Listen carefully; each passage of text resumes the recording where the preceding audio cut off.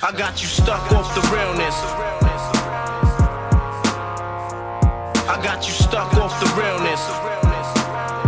I got, I got, I got, I got you stuck off the realness. I'm programmed with essential 21st century smack talk. Your mother is fond of Brainiac. Um, so let's just get into it. Uh, let's just, uh, Hey, here, and in this video we are going to go over the highly controversial topic, Stat Clamp. I know what you're thinking, and it is 2023, why are we still talking about stat clamps? Well, as you can see right here in the forums, players are still complaining and crying about stat clamp. So now I am going to address all the players on the forums, and I am going to do my job as community manager and explain to you what's going on with stat clamp. Just like most of our motives here at Daybreak Delusional Inc., you have to follow the money.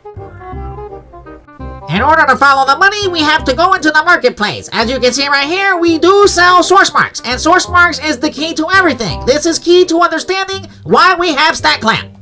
You can see right here that we also sell Dionysiums, Quantum Fields, and Paradox Energies. And of course, we also sell you Rare Alliance, Epic, and Legendary Alliances.